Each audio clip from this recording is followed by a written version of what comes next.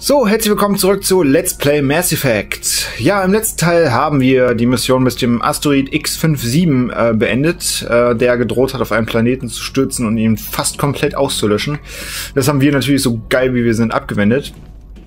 Und äh, ja, ich glaube, das ist schon wieder ein bisschen länger her, ich glaube, ich habe offscreen nach dem letzten Teil die Waffen und Ausrüstung neu verteilt, aber wir wollten, bevor wir weitergehen, jetzt auch nochmal mit den Leuten quatschen, weil das ja so eine Hauptmission war quasi und ähm, ja, die vielleicht was Neues zu erzählen haben. Ich glaube, der Nazi hier hat, glaube ich, nichts Neues. Ja, bitte, Commander. Nee. Gute Arbeit. Jawohl, Sir. Der hat immer das Gleiche zu labern. Dann gehen wir mal zu unserem Piloten Joker und gucken mal, ob er irgendwas Interessantes zu diesem ganzen Thema beizutragen hat. Joker? Commander, etwa noch eine Frage? Äh, hm. Anscheinend nicht, obwohl man kann, glaube ich, nach der letzten Mission fragen. Ich möchte über meine Crew Bescheid wissen. Kann ich Ihnen ein paar Fragen stellen? Ich weiß schon, worum es geht. Sie haben sich über mich informiert, nicht wahr? Sie wollen nee. mich als Piloten.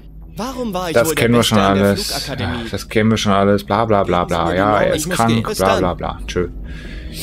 Okay. Ja. Zu, für, zur Erinnerung, er hat ja diese Glasknochenkrankheit. Das heißt, er kann sich nicht so wirklich toll bewegen und wenn er hinfällt, bricht er sich direkt alles. Im Prinzip. Aber dafür ist er der beste Pilot. Das sagt uns, was sagt uns das? Gib niemals deine Träume auf, egal wie schwer es auch ist. Ja, das wird hier total melancholisch. Hatten der Kai dann irgendwas Neues zu labern?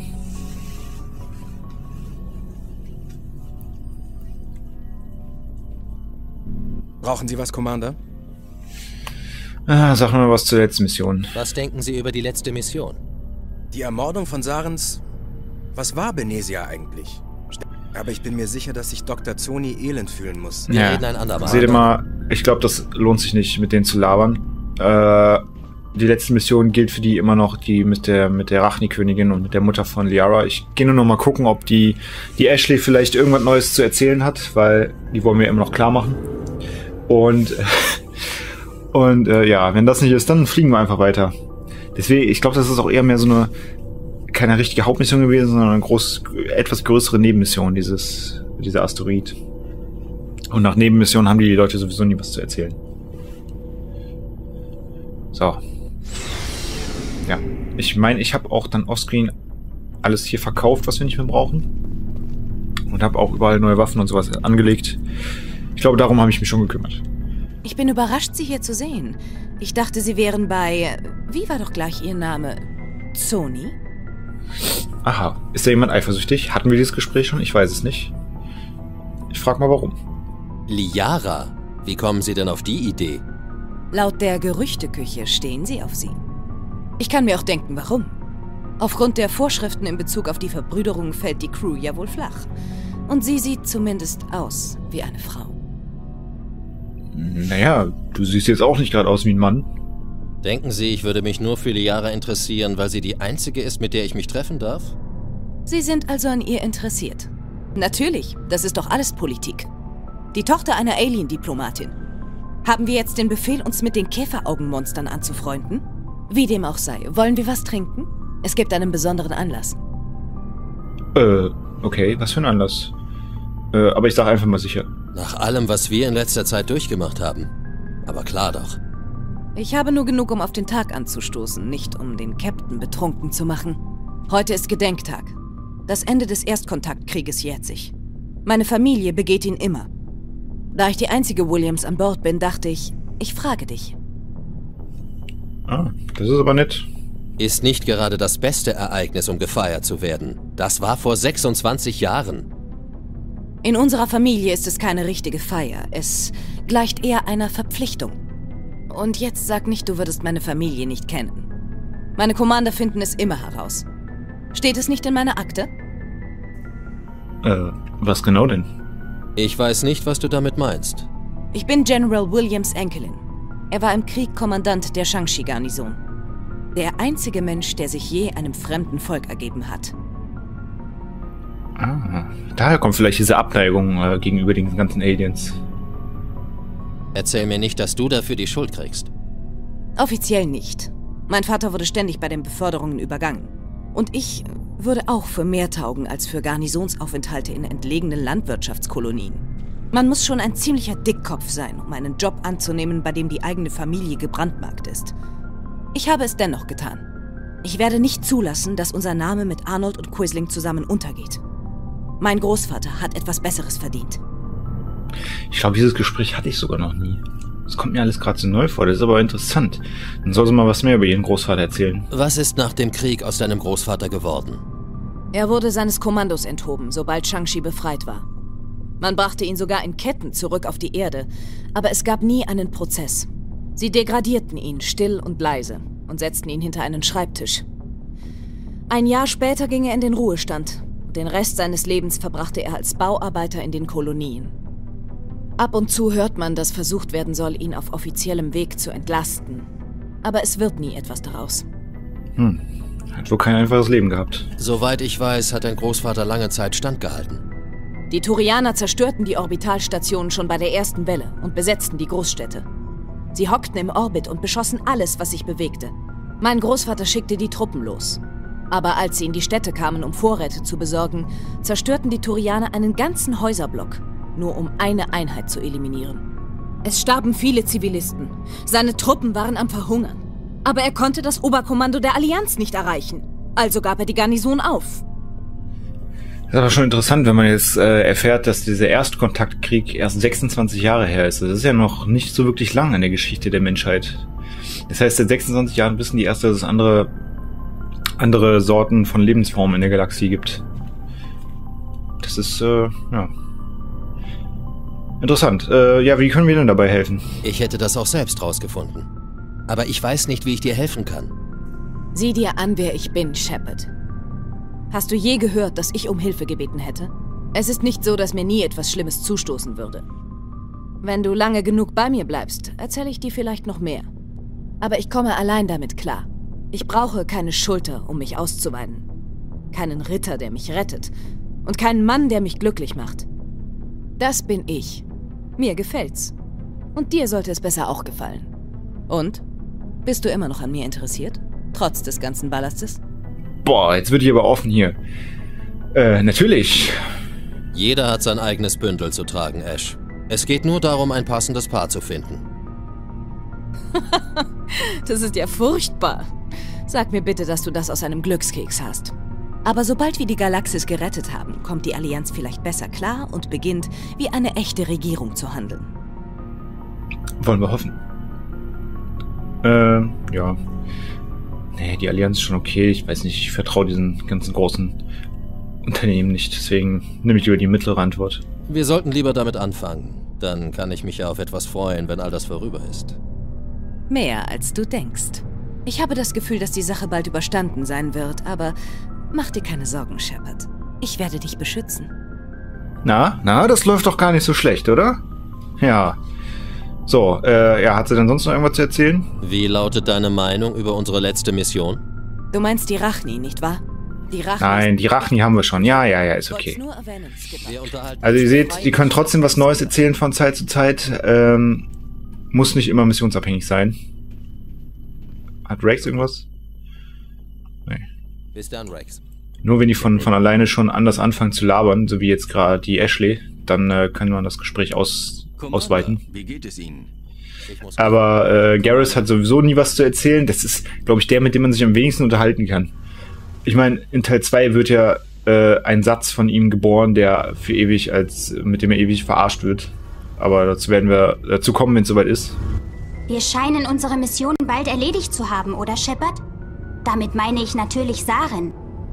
Ja, seht ihr, die hat zum Beispiel auch was Neues zu erzählen. Äh, ja, natürlich. Saren wird, äh, Saren wird sich nicht länger verstecken können. Den werden wir schon bald aufgespült haben, den Arsch. Es wird nicht mehr lange dauern. Auf die eine oder andere Weise wird alles bald vorüber sein. Sie werden die Röhre vor ihm finden, Shepard. Ich weiß, dass Sie das schaffen werden. Sie müssen es schaffen. Und wenn diese Mission erledigt ist, ich meine Pilgerreise abgeschlossen habe und zurück bei meinem Volk bin, werde ich stolz darauf sein, dabei gewesen zu sein. Du machst ja auch einen guten Job. Ohne sie wären wir nicht so weit gekommen, Tali. Sie haben mich gut behandelt. Quarianer werden oft als Bürger zweiter Klasse angesehen. Alle wollen nur, dass wir zu unserer Flotte zurückkehren und verschwinden. Aber Sie haben mich wie alle anderen Crewmitglieder behandelt. Gleichrangig. Das ist etwas Besonderes. Und es zeichnet Sie aus, Shepard. Ich möchte Ihnen dafür danken, was immer noch geschehen mag. Das ist doch kein Ding. Ich mag die Tali. Tali ist auch so eine der sympathischsten im, in, in der Gruppe. Und ich verstehe auch nicht, warum die so behandelt werden, weil das ist doch eigentlich eine sehr fortschrittliche Rasse. Ja gut, sie haben versehentlich die Geth erschaffen, die jetzt die Galaxis bedrohen. Aber das kann passieren. Ich werde Sie vermissen, wenn Sie zu Ihren Leuten zurückgehen, Tali. So weit ist es noch nicht. Noch bin ich hier, falls Sie mich brauchen. Ich muss jetzt gehen. Bis dann. Und davon werden wir auch großen Nutzen machen. Äh, mit der Liara will ich jetzt lieber nicht quatschen, weil man kann auf jeden Fall mit der auch eine Beziehung eingehen. Und ich habe Angst, dass ich da was Falsches drücke und dann versau ich es mir wieder mit der Ashley. Das kann nämlich schnell passieren. Weil manche Sachen halt nicht ganz eindeutig sind. Im zweiten Teil habe ich mich geärgert. Da gibt es eine Unterhaltung mit einem Crewmitglied. Und ähm, dann gibt es die Auswahlmöglichkeit später, äh, ob man zusammen mit ihr duschen will. Und ich saß das erste Mal vor und denke so, hä, nicht schlecht. Aber bevor ich das mache, versuche ich sie noch ein bisschen zu umschmeicheln und will eine andere Antwort. Und dann war aber das Gespräch zu Ende und ich konnte die Antwort nicht mehr benutzen. Erst später habe ich erfahren, dass diese Person sowieso lesbisch ist und daraus nichts geworden wäre, aber es hat mich dann am Anfang doch geärgert. Aber egal. So, ja, dann haben wir ja mal wieder ein bisschen gesprochen. Der Part ist schon fast wieder rum, aber wir haben noch genug Zeit, um einen neuen Planeten anzufliegen. Und zwar für ein, zwei Nebenmissionen wieder mal. So, gucken wir doch mal auf die Galaxiekarte. Gucken wir mal, was wir da jetzt so, so jetzt haben.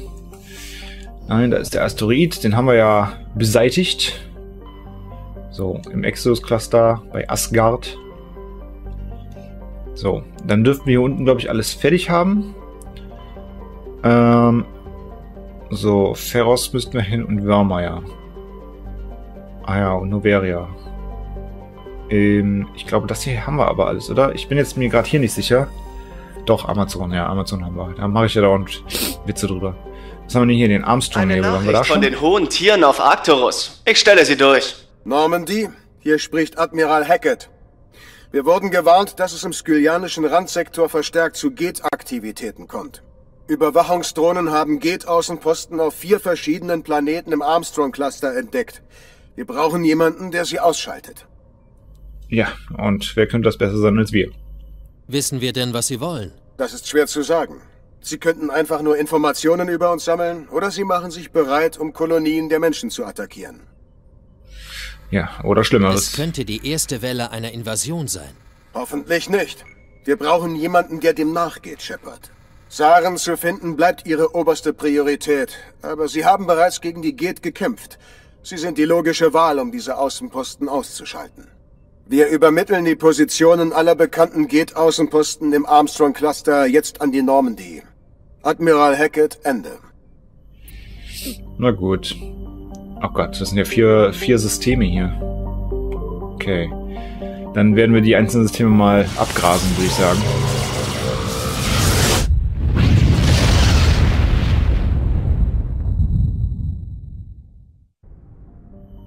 So, was haben wir denn hier? Magi. Oder kann man auch direkt drauf landen? Machen wir dann gleich. Gucken wir erstmal die anderen Planeten an. Ob man da irgendwo was finden kann. Aber auf Almos ist zum Beispiel nichts. Auf Pregel, oh, den kann man erkunden. Torianische Insignien, das ist doch schon mal schön. So, oh, das war's auch schon. Das ist ein relativ kleines System. Na gut, dann landen wir mal auf Magi. Was wissen wir denn über den Planeten? Magi umkreist die riesigen Vamshi-Binärsterne. Vamshi A ist ein blauer Stern der Spektralklasse A41 nee, 4 III oder so, der etwa halb so heiß ist wie die Sonne, äh, wie die Sonne ist. Wamshi B ist ein alterner roter Riese der Klasse M5 III der 220 mal größer als die Sonne ist. Magi hat eine dünne Atmosphäre aus Methan und Kohlenstoffmonoxid. Der Temperaturunterschied zwischen der Sonnenab- und der sonnenzugewandten Seite sorgt für konstante Stürme, durch die Silikat- und Natriumstaubwolken aufgebildet werden. Einige verrohte Bewohner des Terminus-Systems machen sich bisweilen einen grausamen Spaß darauf, auf Magi Paare von Sklaven, Geißeln, unbeliebte Crewmitgliedern oder aus Langeweile Tiere auf der Planetenoberfläche auszusetzen. Ist aber fies. Diese armen Gestalten müssen dann ihre Leidensgenossen umbringen, bevor sie von der tödlichen Strahlung der Gigantensterne gerettet werden. Ey, so sind Menschen. Also ich nehme mal, es können auch andere äh, Wesen gewesen sein, die das gemacht haben. Aber ich glaube, es sind eher Menschen. So, wen nehmen wir denn mal mit? Ich Ich weiß gar nicht mehr, wen ich als letztes mit hatte. Den hatte ich auf jeden Fall nicht mit. Ja, komm, dann nehmen wir noch den, den Rex mit und die beiden. Das sollte, glaube ich, reichen.